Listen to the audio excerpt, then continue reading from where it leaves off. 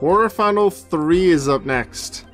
We've had two group winners win their quarterfinal so far, which are the group winners of Group A and C. Now let's see if the winner from Group B, Gaming X, can win their match against the person that most of us thought would win Group A in Rosalina. Someone who in the first two matches that they had never needed their Rayquaza, but when they did, they lost. Will that happen again? Both of the team, these teams, interestingly, have a Phione on their team. Gaming has it as their fifth Pokemon, Rosalina as their fourth.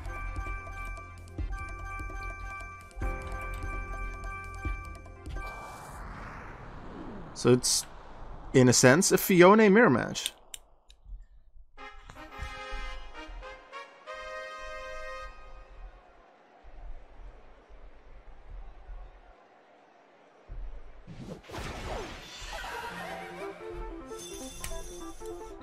Once peaceful air is now turning Bunch of bugs to start us off in Sunny Park Coliseum. Out of the bugs, Combee's the fastest. The blue corner makes the first Hydro Cannon to start us off on Wurmple. Big hit.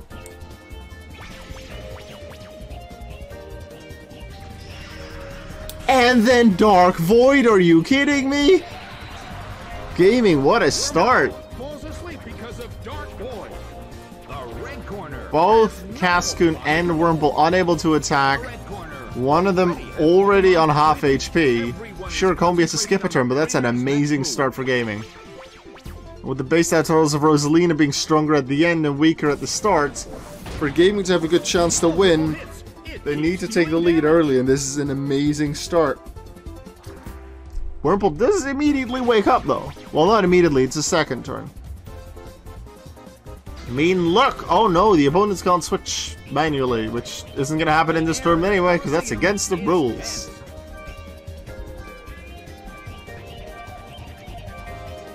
I'd like to ask your opinion, everyone, because I'm really enjoying this Metronome tournament, and I am considering, while Poison Tail comes from a Pokemon without a tail, well, not a lot in this tournament makes sense. I'm considering doing another Metronome tournament after this. Not immediately after this, um, probably like a month or two break at least before the next one comes out. Uh, and that is a month or two from when this tournament ends on YouTube. I want more Pokemon variety. I want more move variety. So the later the generation, the better.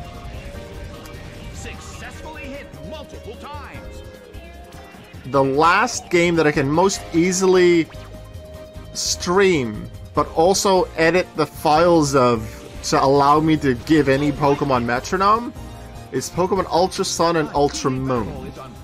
I have understood, although I haven't tested it out myself yet, that there is a way to battle yourself on an emulated Pokemon Ultra Sun and Ultra Moon. If I can manage to do that, would you like to see Metronome Tournament 3 on Ultra Sun and Ultra Moon?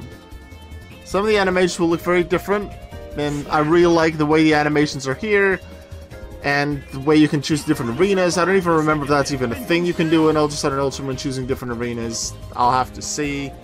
Um, but maybe through like a little bit of, I don't know, I wouldn't say hacking, but affecting the game files, I can. I don't know. But would you like to see Metron Tournament, Ultra Sun, Ultra Moon, with more than 493 Pokemon available? Way more, and also a lot more cool moves. I think it would be really fun because a bigger variety in Pokemon. I think would be fun, and especially the much bigger variety in moves that are possible. Sure, we're still gonna see a tackle or a hydro cannon, and imprison is still gonna be a huge move. But there's a lot more possibilities, and I think I would really like to see that. And yes, indeed, gaming, you did take that early lead that I did say you needed. Swift from Combee. You're dealing good damage. Critical on Aipom.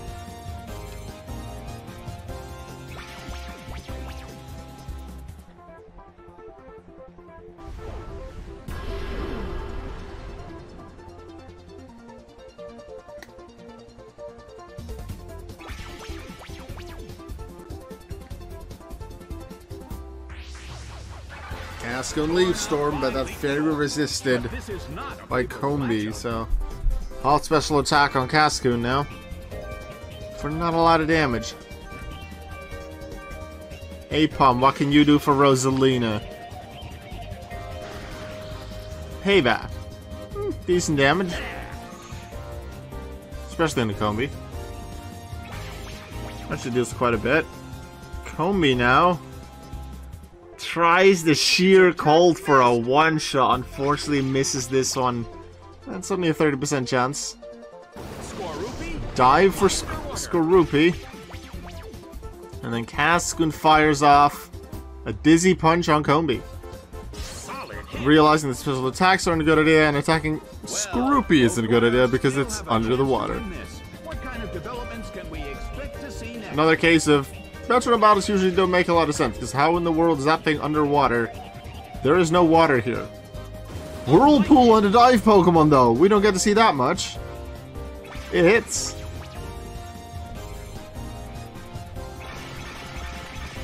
Alright, Cascoon doesn't just have its physical attack lowered and its, oh, its special attack one, now also its physical. Skorupi attack the Aipom. It's probably good to attack the Aipom because it has higher base roll than Cascoon, and Cascoon has its both attacking stats lowered. Punishment would deal bigger damage if there were increases in stats. Skorupi Or very much decreases in stats. I don't think that lowers the power of the move, but it doesn't help, obviously, because the lowered attack stat. I remember once using a Sneasel at that punishment.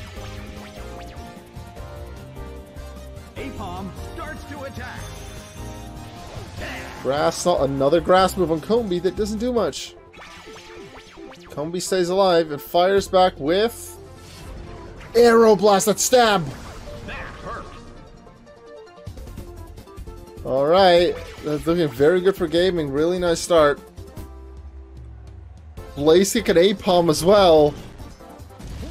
That's a 6-4 lead, and they're taking out the Pokemon that can hit harder by its by its base stat totals already, by its base stats, and the thing that can not hit as hard, that even has its attacks halved on both sides, is still in.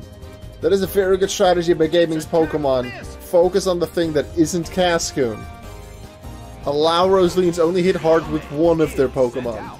The blue corner currently leads. Can they end this quickly? out of the four people that were in Metro Tournament 1 that are also in number 2, only one made it to top cut, which is Damien, and Damien landed in the quarterfinals, didn't make it farther. Three of us made it to the quarterfinals this time, which is already an improvement, and Damien improved on his quarterfinals. So nice job for them. Only Renz, now Mr. Torque in this tournament, stayed fourth in their group just like last time. Unfortunate for them. Gaming. You already basically met your goal by making it to top cut, but can you make it to the end of the tournament? Cascoon. Tackle, uh, that would have pull off a move. Done a lot. Well, both corners I'm about to lose what I'm in on here, maybe. Well, let's find out. What's Fiona gonna do? That's a Dark Pulse. Dark Pulse. Big damage to Skorupi. Down. Down.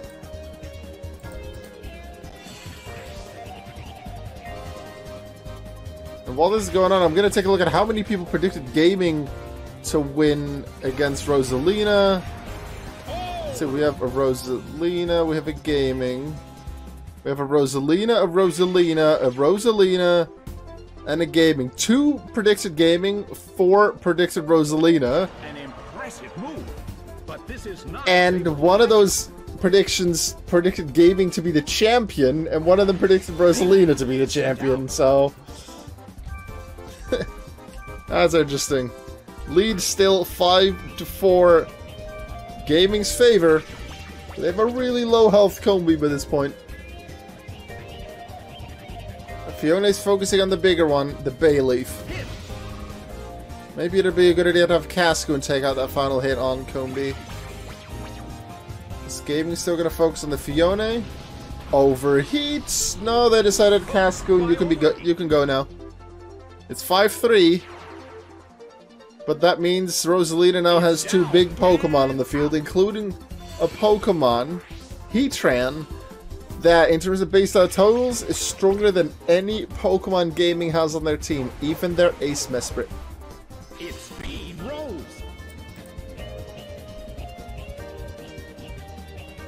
Here comes Heatran. Rosalina, in the past, once you sent out Rayquaza, you lost that match.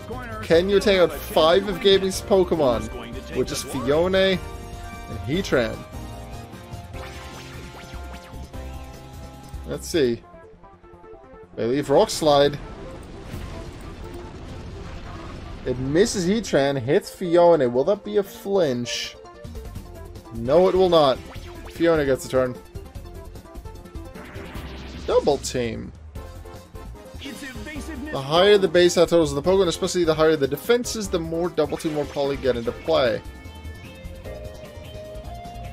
Swift. Bam! Bit of damage to Bayleef. Combee's down.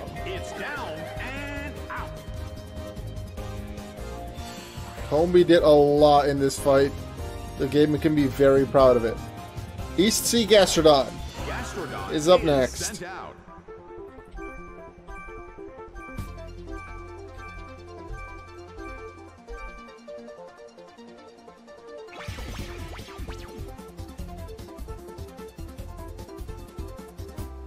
The move fails.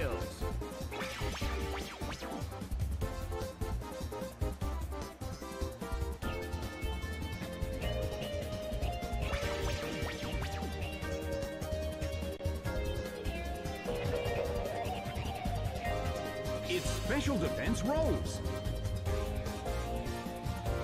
Hey, Gaming saying Gastrodon, can you do me a solid and use Earthquake? Hmm, maybe not right now. Here's Knockoff. A small hit. Hey Amos, welcome to the stream. Nice to see you. The mood in the Colosseum has become somewhat uncertain. Yeah, Earthquake would be really nice here. Bailey resists it. Fiona takes decent damage because it is still just an Earthquake from a ground type, and then Heatran would just go down. and the stat changes are about to be swapped.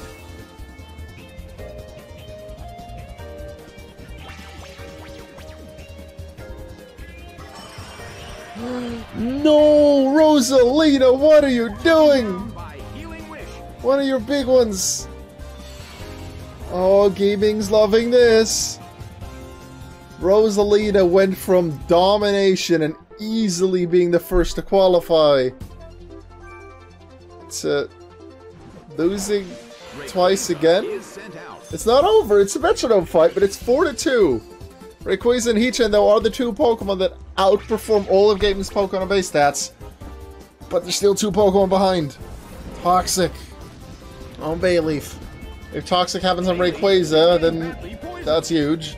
If Earthquake happens, if Blizzard happens and hits Rayquaza, uh, anything like that will be huge. Growl. Lowering the attack stat of the Heatran, and I think Rayquaza too, right? Yeah. At this point, gaming can. Bailey suffers from poison. Oh, what's the word that I'm looking for here? Still have a chance to win It's probably okay for him to go over some stat lowering because he has as big of a lead as he does. And even though this is a Phione mirror match, we'll never see the two Phione against each other. Head smash, that is big, but it misses. I think head smash is either 90 or 80% accurate. That didn't work. Yes, almost. I do watch the Pokemon anime. I absolutely loved um, episode for Friday. And for those watching this the as a YouTube video later, I'm streaming this on the 15th of November. So the most recent episode that aired for me right now is Ash versus Leon, the the final one. I know there's only three episodes of the Pokemon anime remaining, and by the time this goes up on YouTube, pretty sure the Pokemon Journeys anime, the Gen 8 anime, will have ended. I don't know what's happening with the Project Mew stuff yet, because at the time of streaming this, is it hasn't aired.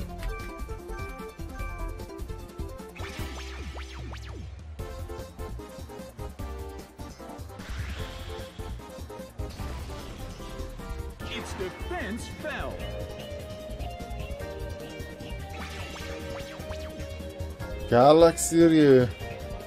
Mega Drain. On the Gastrodon. That's good damage. We haven't gotten to see much of this Rayquaza at all because it didn't get sent out in the first two matches. The third match, it didn't stay around for too long.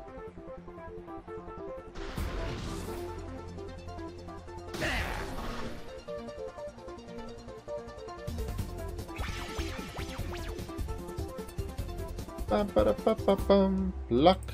Just little bits and little bits of damage on that Heatran. It's taking a while, but every bit counts, and gaming still leads 4 to 2. Toxic damage is adding up. Corners still have a chance to win this. Who's going to take Almost, yes, I just mentioned that I watched that episode. If you're asking a question, please actually listen to the answer. Also, I don't really like the question, the way you're asking it. Because if the answer is yes, then okay, it's yes. But if the answer is no, then you just spoiled it. So please be careful in the way you ask questions like that. Yes, I watched it.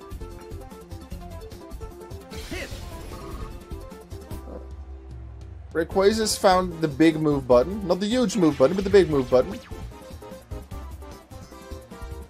Earthquake! Not from Gastrodon, but from Bayleef. Hits Heatran really hard. Doesn't affect Rayquaza. Doesn't quite take out Gastrodon.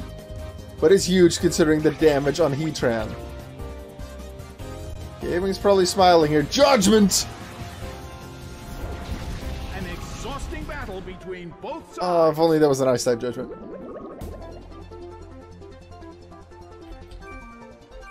Hey Dylan, welcome to the stream. Yo, okay, I missed the very old days where you did deck requests for Yu-Gi-Oh! Man, I feel like a kid again. Ha, yeah. I did that quite a long time. Yeah. On, um, Dueling Network, Dueling Book at some point as well, because then I lost touch with the meta and I didn't really want to do it as much. And even though I did do still like Yu-Gi-Oh! I'm still like playing stuff with it and slowly working on a project that I'll admit often I forget about, so I'm still not very far with it. Not as far as I would have liked. Well, Gaston and Bailey were down. Wow. Yeah, Yu-Gi-Oh! I haven't forgotten it. I still like it. I still play it. Just not main meta anymore. I've lost touch with it, and with how big all the combos are and how long the turns can take in Yu-Gi-Oh! I don't like the current state of the game. I still enjoy the game, but you'll see in the series that I'm working on, it'll be, sure, some big combo decks, but a lot of slower pace stuff, like GX era pace, maybe early 5Ds era. My favorite was when you did a deck request for Rank 10 Xyz and Photon. Yeah, I did a lot of decks that were really fun to make. Yeah, if cards were a lot easier to get on Master Duel, I'd do more deck requests on Master Duel. Rayquaza goes to normal type? Well, Heatran's out. Heat Wave. Does that act? No, it doesn't actually Flash Fire in Heatran because it's away. Bit of damage on Galaxy Ryu. Is that going to be burn? No. It's two against two, so any big move can end it. Ooh, there's a Brave Bird. That's a big move. Galaxy Ryu and Heatran both on low health, but they are still alive. They are alive. Advantage still gaming, but with two Pokemon remaining, at this point, it's a lot scarier. Especially if that Shadow Force is aimed at Mesprit. It's not. That would have been a near KO, I think, if it would have been on Mesprit. Peach and to go first. What can they do? Sand attack. Hoping for misses by Fiona. Are they going to try and take out Mesprit first then?